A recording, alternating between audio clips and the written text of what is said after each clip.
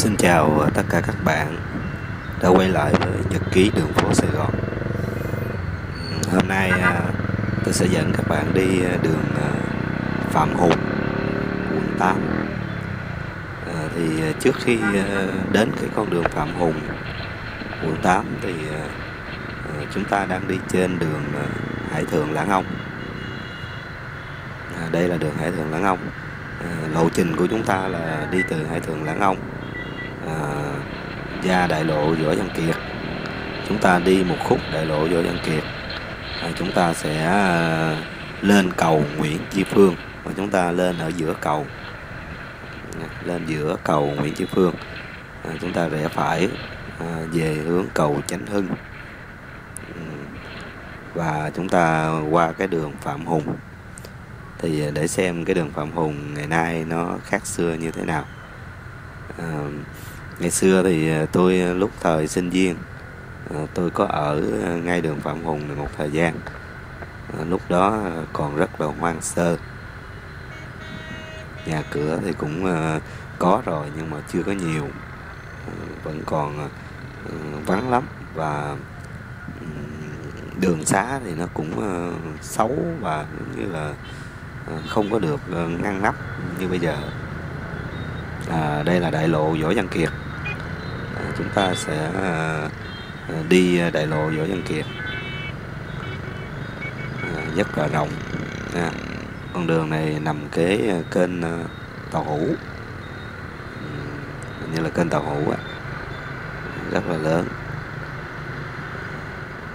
Đường này thì mới được xây dựng mới được là mới được làm khoảng trong vòng khoảng 5 đến 7 năm nay thôi. Khoảng 5 năm đó các bạn Thế tôi nhớ là khoảng 5 năm. Thì nếu mà từ uh, quận 6 gì đó chúng ta đi ờ, về hướng quận nhất thì chúng ta đi đường này rất là nhanh. Nó đỡ phải bị đèn đỏ đỡ kẹt xe uh, rộng rãi thoáng mát. Hầu như là người ta sẽ chọn đường này. Tôi thường đi công việc thì tôi cũng chọn đường này đó, và chúng ta đi một khúc thôi. Bây giờ chúng ta sẽ lên cầu Nguyễn Tri Phương. Đây là cái hướng cái hướng trước mặt là cái hướng sẽ đâm lên giữa cầu Nguyễn Tri Phương. Đó. đường xá đây à, được thiết kế là rất là hay tức là rẽ nhánh hướng nào hướng nào. À, nhiều bạn mới đi đường này là mù luôn không có biết đường rẽ luôn. Đó. chúng ta rẽ ở giữa cầu Nguyễn Tri Phương rồi giờ chúng ta rẽ phải. Cầu Nguyễn Tri Phương cũng đang quá trình uh, tu bổ uh, thêm để cho nó rộng thêm. Tại vì cái hướng này nó thường hay kẹt xe đó đó đó đó. Vừa mới nhắc kẹt xe nhìn xuống tôi thấy quải chè đậu luôn rồi. Trời ơi một rừng người luôn rồi. Kiểu này mà từ đây mà bò qua được khỏi cái cầu Chánh Hưng chứ. 15 phút đồng hồ có. Tôi thấy nguyên một rừng người rồi đó.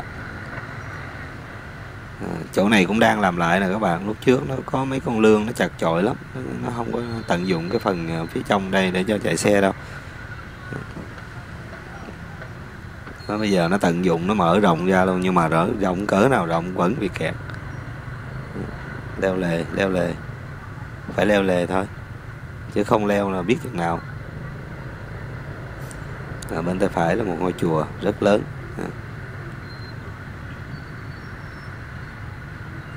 Tôi đi ngang thường chứ tôi cũng không nhớ là chùa gì luôn nữa.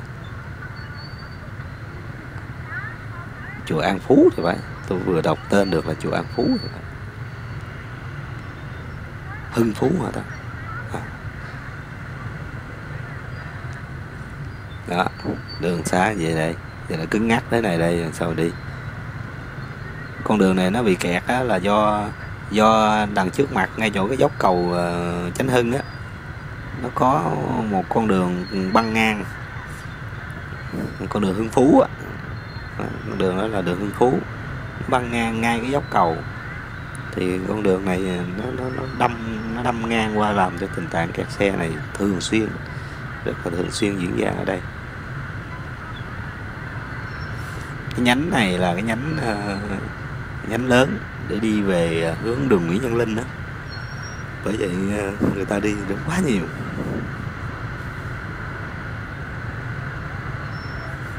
Giờ này đâu phải là giờ à, tan tầm đâu nhưng mà cái lượng người à, lưu thông nó còn như thế này đây. Hỏi các bạn nếu mà lỡ mà chúng ngay cái giờ tan tầm thì chỗ này chắc nhất từng bước.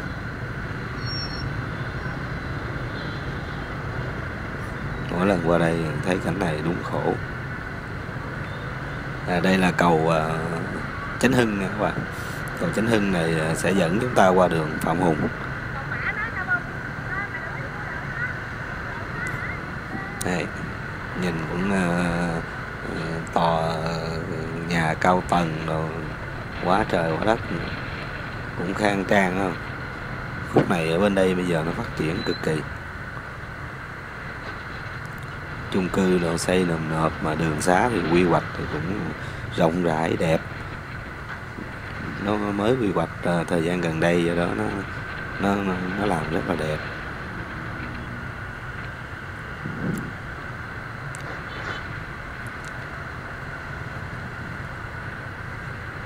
Đấy nhìn xuống thì lại cũng thấy một rừng người dưới nữa. Con đường này lúc nào cũng đông đúc cả. tôi cũng thường hay ờ, đi về hướng nhà bè và tôi chọn con đường này ờ, để tôi đi tại vì con đường này nó nó khá trống trải hơn so với những đường khác. Hôm nay không biết sao mà nó nó lại đông như thế này chứ thường bữa cũng không đông lắm. Đó mà các bạn thấy ha đường xá cũng sạch đẹp hai bên nhà cửa cũng ngăn nắp khang trang. Đó, trước mặt cũng vài cái tòa cao tầng.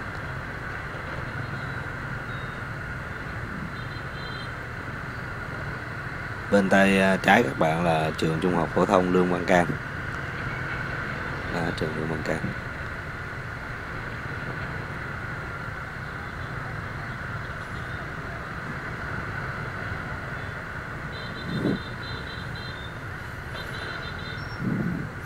giờ mà à, chúng ta nếu mà ai mà rẽ bên phải á rẽ bên phải đi vào á thì à, ở hướng bên đó chúng ta sẽ thấy phát triển rất là nhiều. Chung cư, tòa cao tầng rất là nhiều luôn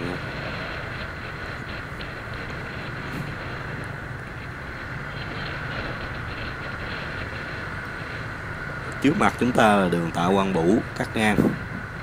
Ừ, đường Tạ Quang Bửu này à, nếu mà chúng ta rẽ phải sẽ đưa chúng ta về ngay chỗ bến xe quận 8 ờ, ở bên tay trái là nhà thờ Nam Hải giáo xứ nhà thờ Nam Hải nha một cái ờ, nhà thờ rất là lớn ở đây.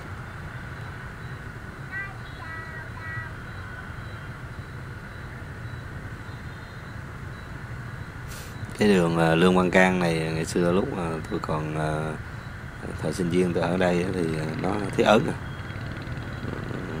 đường giống như là ở trên mặt trăng vậy đó. Nhưng bây giờ thì nhìn nó lộng lẫy luôn nếu bạn nào có cơ hội đi vô đường Lương Văn Can thấy đường ờ, quy hoạch rất là lớn.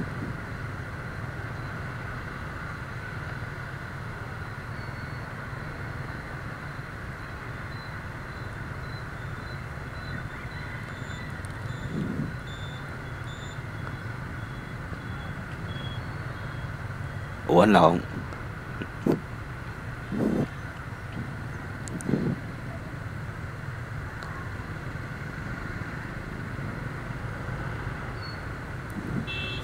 Đấy, khu này giờ phát triển rất nhiều. Vẫn nhìn hai bên những cái quán này kia nó làm, nó mở rất là lớn.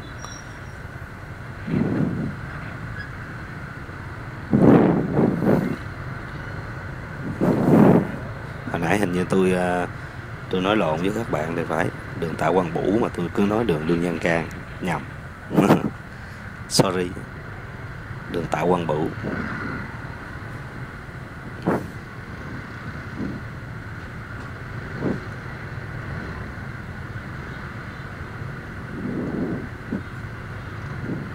nãy giờ cũng ờ, uh, 10 phút rồi mà vẫn chưa thấy đâu. Chưa hết đường Phạm Hùng. Mặc dù đường Phạm Hùng này nó không có dài lắm. Nhưng mà hơi bị kẹt xe.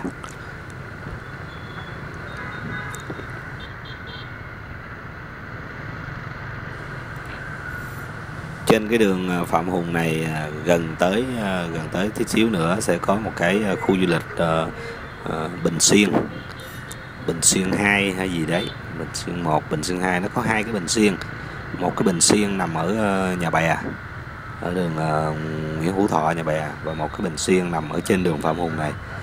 À, cái khu du lịch Bình Xuyên này thì giống như vô đó giải trí câu cá nè ăn uống nè à, đồ ăn thì cũng không có mắc lắm. À, tôi cũng đã từng vô đây rồi.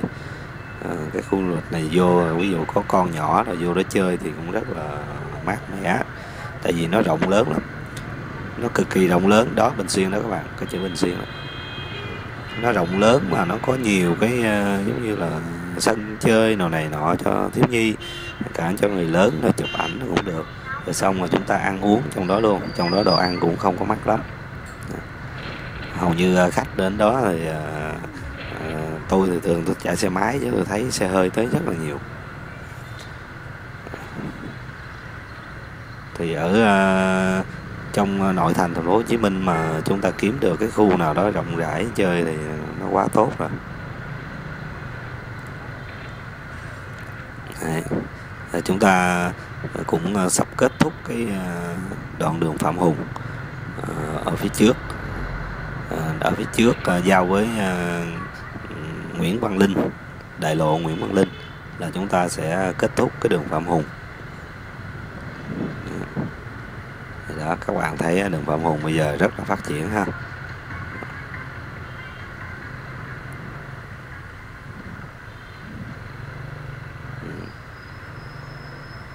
Đấy. và cái chỗ này cũng thường hay kẹt xe lắm bạn. Tại vì nó giao với Nguyễn Linh đó, mà cái đường Nguyễn Linh đó là cái đường ưu tiên. Do đó cái thời gian ờ, thời gian đèn xanh của nó ờ, lâu lắm. Thời gian đèn xanh của nó 60 đến 80 giây có luôn làm cho ở hướng bên đây nó đứng đợi lâu. Đèn đỏ bên đây nó đứng đợi lâu mà đèn lâu thì nó đợi lâu thì nó ồn. Chỗ này nó thường ồn mà chỗ này lại thường buôn bán rất là sầm uất buôn bán lấn ra lề đường rất nhiều. Ngay chỗ gần ngã tư á, nó bán lấn ra ghê lắm. Do đó nó thường hay kẹt xe chỗ này.